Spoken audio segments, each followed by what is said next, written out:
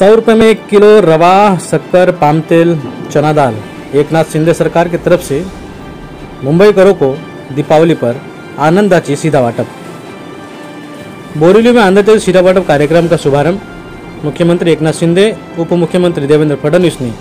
दीपावली पर महाराष्ट्र सरकार की तरफ़ से सौ रुपये में एक किलो रवा, एक किलो शक्कर, एक किलो पाम तेल, एक किलो चना दाल आनंदाची सीधा वाटप नामक योजना की घोषणा की है। बोरीवली विधानसभा क्षेत्र के गणपति अपार्टमेंट में स्थित 43 जी तैंतीस में यह देखिए, इस कार्यक्रम का शुभारंभ भाजपा के विधायक सुनील राणे के हाथों किया गया। इस अवसर पर बोरीवली क्षेत्र की सहायक राशनिंग अधिकारी अनिता सुधीर पाठक राशनिंग निरीक्षक अपूर्वा अशोक बाइट सहित भारी संख्या में बीजेपी के कार्यकर्ता उपस्थित रहे। रिपोर्ट, समय मुंबई। क्या कहना चाहेंगे? आज आनंद का सीधा वितरण जो चालू किया गया है उसमें आप लोगों को मिला। क्या कहना चाहेंगे? सब अच्छा है सौ रुपए में इतना सामान मिल रहा है अच्छी बात है। मेहरबानी। और सरकार का ये शुक्रिया करना चाहिए। तो बहुत अच्छा काम करता है हम लोग के लिए बहुत फ़ायदे के लिए। आप काम क्या काम करते हैं? मैं करता हूँ झाड़ू। हम भी साफ़ सफ़ाई वाले लोग हैं। तो अच्छा काम करते हैं और हमको फ़ायदा बहुत देते हैं गोपाल सिटी और सुनील रानी हम बहुत अच्छे हैं ना हम गवर्नमेंट के लिए सब अच्छा हम लोग को राशन पानी खाली यही इंसान थोड़ा गड़बड़ करते हैं तो काम बिगड़ जाता है हमारा। ये रहा। छाया बावीसी। अच्छा आज आपको चार सामान मिला सौ रुपए में क्या कहना चाहेंगे सरकार के लिए? सरकार तरफ़ से मेरे को चने की दाल मिला है तेल मिला है रवा मिला है और शक्कर मिला है। और सौ रुपये में कुछ नहीं मिलता है ये ज़माने में। तेल का भाव दो सौ रुपया है चने की दाल सौ रुपया है। फिर भी सरकार बहुत हमारा ध्यान रखती है। कोरोना काल में हम लोग को दो साल बहुत संभाला है। की तरफ़ से टिप्पणी की गई थी।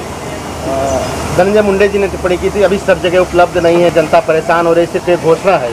देखो ये धनंजय मुंडे खुद परेशान है क्योंकि वो सत्ता में नहीं है। जब खुद सत्ता में थे तो उन्होंने क्या किया? वो बात करना चाहिए वो परेशान जो जो लोग हैं ना, वही टेलीविज़न पे ज़्यादा बात करते हैं। इसके लिए मैं धनंजय मुंडे जी को कहता हूँ कि आप अपनी तरफ़ ध्यान दो। जब सरकार में थे तो ढाई साल क्या किया, वो जनता को बताइए। आपके मार्गदर्शन में रानी जी की उपस्थिति में यहाँ पे सीधा वितरण का कार्यक्रम किया गया, दिवाली का जो मुख्यमंत्री मुख्यमंत्री ने घोषणा किया था। क्या कहना चाहेंगे? यहाँ की मैं असिस्टेंट रजिस्ट्रिंग ऑफिसर के तहत मैं काम कर रही हूँ। और ये सरकार ने जो आनंद का शिधा दिया आनंदाचा शिधा जो वाटत आहे सरकार चार वस्तू देत आहे, शंभर रुपयामध्ये. त्याचं वितरण आजपासून आमच्या बोरोली कार्यक्षेत्रात, आता सद्यस्थिती चार दुकानात आणि येत्या दोन दिवसामध्ये सदुसष्ट दुकानांमधनं परिपूर्णपणे चालू होईल याची नक्कीच खबरदारी घेतली जाईल. आणि लवकरात लवकर सगळ्यांचा सगळ्यांची दिवाळी चांगली जाईल एवढं आम्ही स्वतः एक का सरकारी कर्मचारी म्हणून त्याच्यासाठी नक्कीच हे करू. सरकार की तरफ से जैसे कि घोषणा की गई है आज यहाँ पे सामान वितरण करने का कार्यक्रम शुभारंभ किया बरेली विधानसभा में क्या कहना चाहेंगे? तो पहले तो मैं अ, सरकार का विशेष रूप से हमारे महाराष्ट्र के मुख्यमंत्री सन्माननीय श्री एकनाथराव जी शिंदे साहब और हमारे उप मुख्यमंत्री सन्माननीय श्री देवेंद्र जी फडणवीस, इन दोनों का तहे दिल से आभार व्यक्त करता हूँ, मनपूर्वक अभिनंदन करता हूँ। और ये दोनों के माध्यम से, महाराष्ट्र सरकार की ओर से, दिवाली के समय में अपने गौर गरीब लोगों के घर में दिवाली मनाने के लिए सौ रुपया लेते हुए चार वस्तु का वितरण आज किया जा रहा है, जिसमें शक्कर, पाम तेल रवा और चना दाल।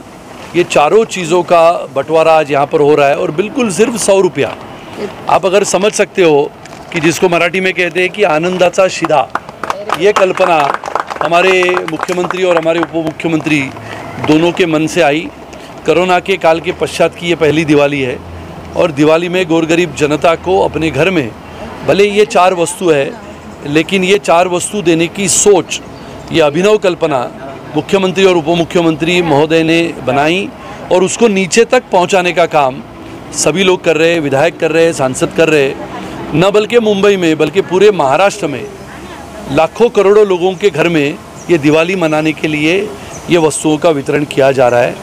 मैं मानता हूँ कि ऐसी अभिनव कल्पना और गौर गरीब जनता के घर में दिवाली हो, ऐसे मन में सोचने वाले मुख्यमंत्री और उप मुख्यमंत्री दोनों का आज विशेष रूप से हम सभी लोग अभिनंदन करते हैं।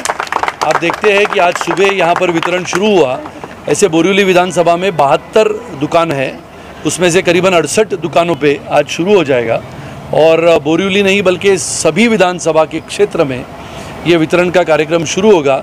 आने वाला समय निश्चित रूप से दिवाली सभी नागरिकों को सुख, समृद्धि और आने वाले समय की आरोग्य की जो एक अच्छा सेहत भगवान के चरण में प्रार्थना करते हुए ये दिवाली की शुभकामनाएँ